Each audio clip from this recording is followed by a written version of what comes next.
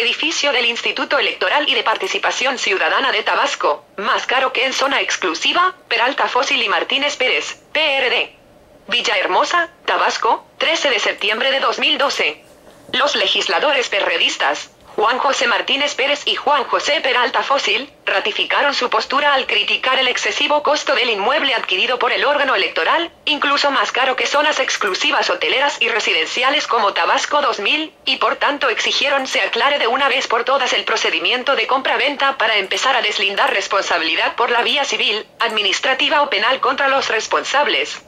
En ese sentido, Martínez Pérez señaló que se acuerdo la evaluación, el edificio no corresponde a lo que marca el avalúo, pues se maneja que es un edificio de primera clase cuando en realidad hay que darle un vistazo por dentro para percatarse de que es una mala obra de construcción. Se ven muy claro los asentamientos que tuvo el edificio en el lado derecho, hay partes que se quebraron.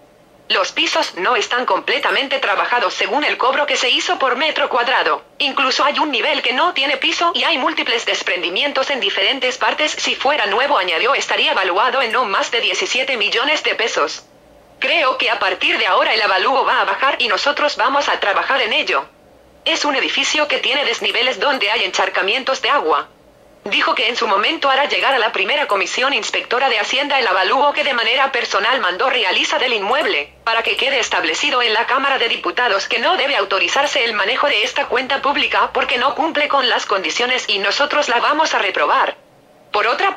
Su homólogo Juan José Peralta sostuvo que son evidentes las fallas estructurales y no es posible que los integrantes del Consejo Estatal no lo hayan advertido a tiempo, por lo que está claro que no lo hicieron con la debida responsabilidad que requiere una compra de esta naturaleza.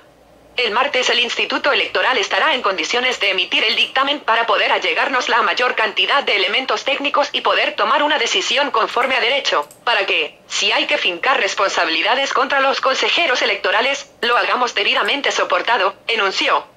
A simple vista continuó el inmueble no reúne las características de seguridad necesarias para poder funcionar, y eso, yo no lo vería como un vicio oculto, sino que está a la vista y creo que no hubo seriedad ni responsabilidad en la adquisición, por eso no nos temblará la mano para actuar conforme a derecho.